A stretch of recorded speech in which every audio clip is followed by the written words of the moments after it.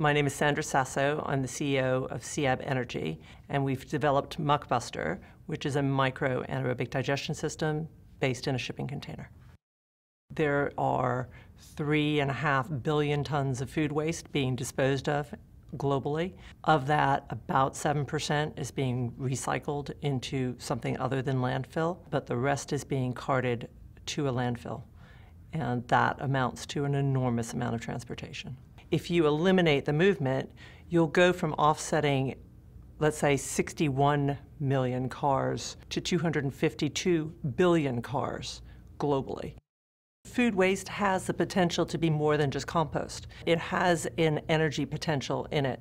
And what we're doing with our unit is extracting that energy potential. Anaerobic digestion is a bacterial process with um, anaerobic bacteria, as the name says, that eat the waste, and what they excrete is methane. And the methane is the component that we make the energy out of. Why is it important that a muckbuster is sited at uh, the source of the waste? Well, take a customer, uh, let's say a brewery that's in a slightly more remote location. The cost to them of having their waste collected is substantial. They'll be saving their waste disposal fees and they'll also be saving on their electricity.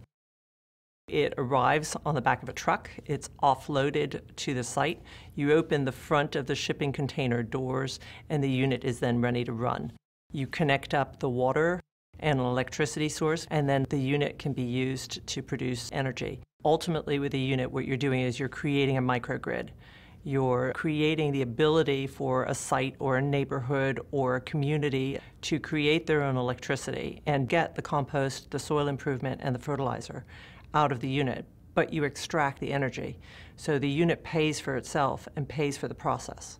Our customers uh, love the unit. They are uh, thrilled to be able to be part of something which is uh, enabling clean tech to uh, enter into the waste sector. And so you start to break up that centralized, established way of doing things. I think if we can make an even tiny dent in that, uh, our business would be very, very successful.